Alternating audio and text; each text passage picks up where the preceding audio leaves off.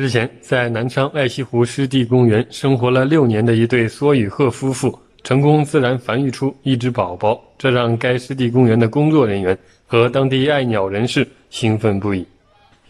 连日来，在该湿地公园候鸟保护中心，出生仅数日的鹤宝宝已经可以站稳，并紧随在妈妈身边觅食嬉戏。据工作人员介绍，在孵化过程中，他们尽可能的为鹤夫妇创造良好的条件。成功找到配偶这个过程呢，我们就呃完全的这个监控，发现它有这个产卵迹象了以后，我们给它补充它所需要的这个石块、卵石啊，这样的方便它呃顺利的把蛋产下来啊，顺利的度过将近一个月的这个的孵化期。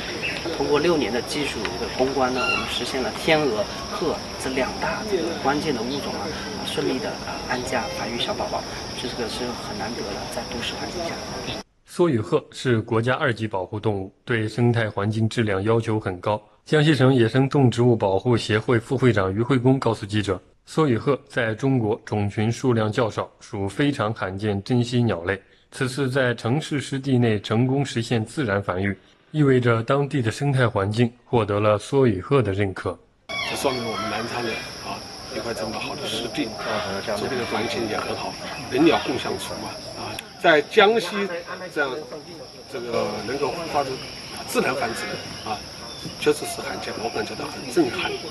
爱溪湖湿地公园生态环境优良，被市民誉为南昌绿肺，拥有天鹅、大雁、鹤、野鸭等野生动物二十余种。每到周末和节假日，大量市民来此休闲度假，已成为人的乐园、鸟的天堂。